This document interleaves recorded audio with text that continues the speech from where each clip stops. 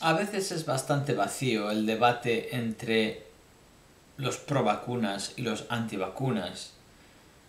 Porque mm, muchas veces se basan en prejuicios o en datos a medias o en omisión de cierta información para que su postura parezca más rotunda de alguna, de alguna manera, más, más válida.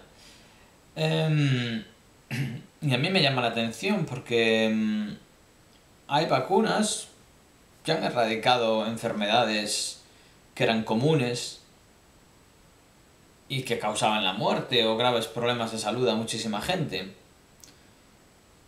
Y después también hay vacunas que han demostrado ser un mero negocio, como la vacuna de la gripe A, que nos decían que iba a ser una pandemia, que iba a matar a millones de personas en todo el mundo, y que resultó ser una gripe bastante normal, un poquito así más, un poquito más dura quizás. Pero ya se encargaron de vender no sé cuántos miles de millones de dosis de esa vacuna a mogollón de estados por todo el mundo que luego no sirvieron para nada.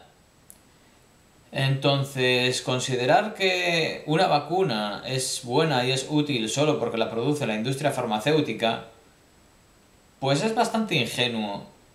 Y no tener en cuenta que la industria farmacéutica es en efecto una industria y que lo que busca son beneficios, es un poco ingenuo creer que se dedican a producir medicamentos y otro tipo de soluciones para nuestros males, cuando en realidad lo que tienen es un interés en que tú estés enfermo y que gastes tu dinero en cuidados paliativos. No les interesa que tú estés sano ni les interesa que tú superes tus enfermedades o que no las tengas por prevención. Les interesa que tú estés enfermo y que compres sus productos paliativos para tu enfermedad.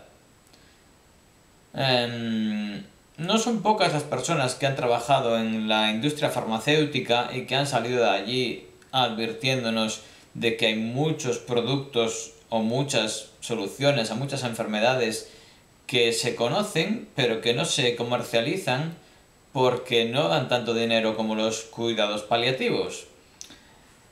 Entonces, creer así ciegamente a la industria farmacéutica y creer que, oh, han sacado una vacuna, tiene que ser fantástica y sanarnos a todos, pues es bastante ingenuo.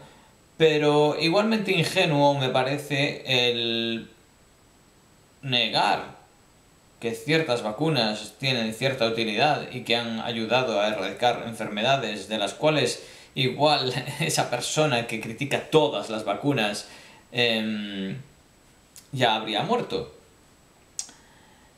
Mm, y no mucho más, no mucho más. Otra vez un alegato contra el blanco y el negro, el sí, el no, el miro para allá o miro para allá, que hay muchas cosas a tener en cuenta, hay muchas perspectivas y hay muchos, em, muchos datos a sopesar, más que sí o no a algo.